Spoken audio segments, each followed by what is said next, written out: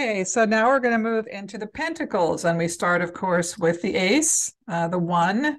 Uh, if I was to see this in someone's spread, I would be very confident to say that a job is going to be offered to them or some opportunity where there is an exchange of money because the pentacles indicate money things all all things related to security uh, and physical compensation uh, for the most part so an ace of pentacles is a new job uh, a new venture um, the two of pentacles again often when I've seen this in my spread over the years, I'm juggling circumstances, juggling finances, I'm juggling something, but I'm doing so successfully.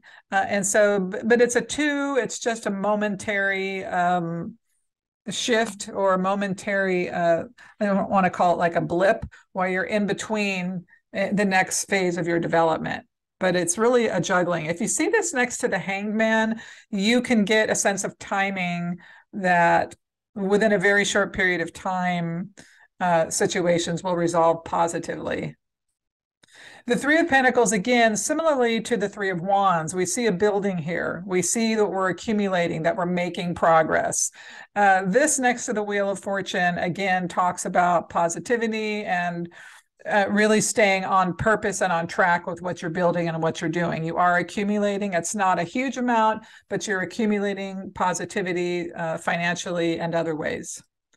The Four of Pentacles is a positive card in some ways, but it does it does give us the sense that we're a little bit too focused just on the money. We're focused, we're too focused on the material, and maybe we're a little bit out of balance. Sometimes this happens when we might have a fast accumulation of wealth and then we forget to stay centered in what's true and just get focused on financial or whatnot um, so this this does caution us about selfishness. It does caution us about uh, hyper focus on the wrong thing. But it indicates that we're doing okay financially or that money is coming quickly. The five of pentacles like all fives scattered energies not we're in the middle of something and we can't quite see our ways out of it. And this card really paints the picture of you know the money's not doing well. I mean these people are out in the snow. One person's on crutches. I mean and they're not dressed very warmly right?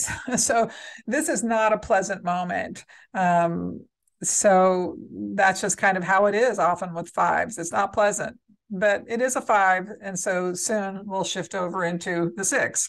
And this is truly one of the most positive cards in the deck, the Six of Pentacles. Not only does it mean that you have crossed over, that now you're no longer in lack, but now you have an abundance of money. And I think in seeing this person actually give coins to the beggars on the street, indicates that they have excess and they feel that they can do that. And of course, you see the scales that the, the balance has been restored and then some. And of course, reminder with all sixes, balance is sort of the name of the day, the name of the, the day, the game with that, with these uh, numbers. Now, if you put the six of pentacles next to the star, that's one of the most positive um, omens you can see in terms of your financial wealth and your um, professional wealth. Uh, the Seven of Pentacles is an interesting card. Sevens are cycle changes, of course. We're in the middle of the cycle change. Uh, and, and this one, it's the, the picture's done so well because you see this accumulation of wealth, all these seven pentacles, but he's looking at it kind of like, well, when are you going to fall off the branches so I can pick them up? It's kind of the same way that we know we've invested. We know that things are coming, but it hasn't yet materialized. And it's anyway, we're kind of waiting when we can see it coming. It's almost like if you're getting a refund from the IRS and you know, you know it's coming, but where is it? Right. Same, same type of thing. Uh, the Eight of uh, Pentacles is such a positive card, especially for people who are artists or musicians or creatives in some way, artisans, because it just shows that you've really accumulated level a level of mastery in your profession. And and you see how these pentacles go up the wall. It's almost like if there were plaques on a wall you know chronicling your credentials it's just showing mastery of your craft. And it's a very positive card for ensuring that person keep going with their endeavors. This is a you've invested and you've done well and you, you're getting better and better at it. Keep doing it.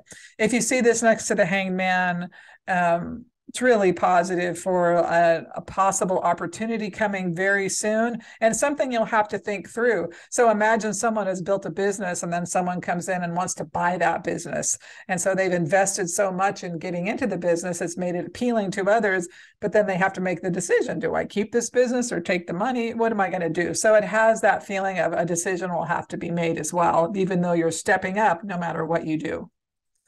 The Nine of Pentacles is very positive for the feminine piece of abundance. So um, it can mean good things for fertility and, you know, um, purchasing power, things of that nature.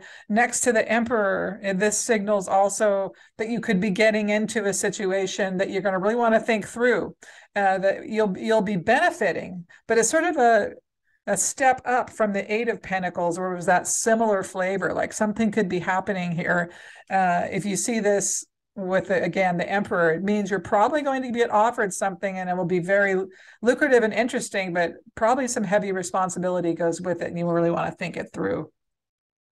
And of course we all want to see this in our in our spreads because this is like money this is money's rolling in. It's a ten of pentacles, money, money, money, and paired with different cards, the world, the wheel, the sun.